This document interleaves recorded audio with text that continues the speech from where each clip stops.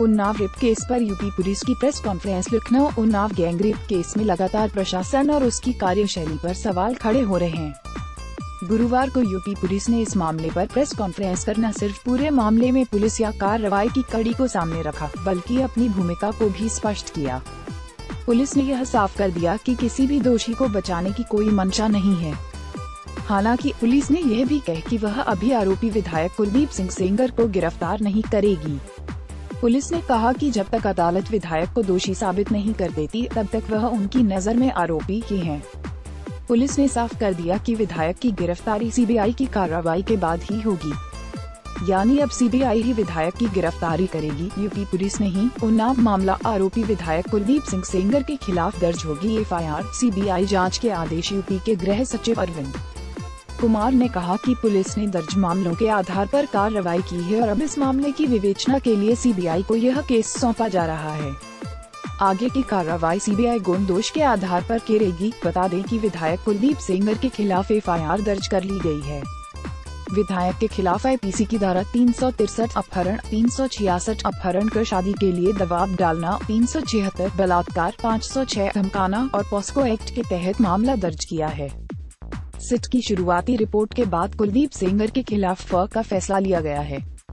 इसके साथ ही मामले की जाँच सीबीआई से कराने का फैसला लिया गया है। उन्नाव रेप केस बीजेपी विधायक कुलदीप सिंह सेंगर के खिलाफ दर्ज सीबीआई करेगी जाँच। यूपी के गृह सचिव अरविंद कुमार ने कहा कि इस मामले की जाँच के लिए हमने एसआईटी गठित की थी और उसने अपनी रिपोर्ट सौंप। दी रिपोर्ट में कई जगहों पर लापरवाही की बात सामने आई। इतना ही नहीं, जिला चिकित्सालय के रिपोर्ट पर कारागार में लापरवाही की भी बात सामने आई थी।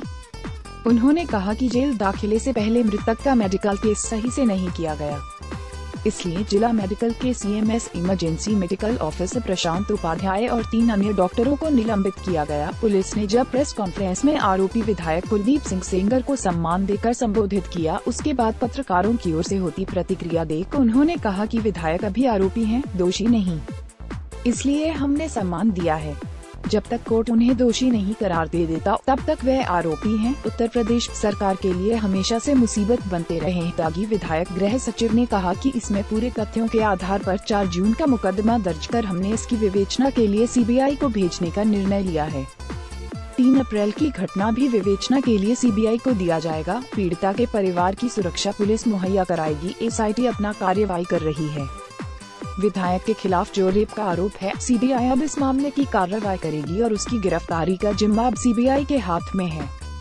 उन्होंने कहा कि आज यह यह सिफारिश भारत सरकार को भेजा जाएगा, इसके बाद सीबीआई इस मामले को अपने हाथ में लेगी। Video Unnao rape case BJP MLA Kuldeep Singh, Sengar के खिलाफ दर्ज हिंदी न्यूज़ से जुड़े अन्य अपडेट लगातार हासिल करने के लिए हमें फेसबुक और गूगल प्लस पर ज्वाइन करें ट्विटर पर फॉलो करें।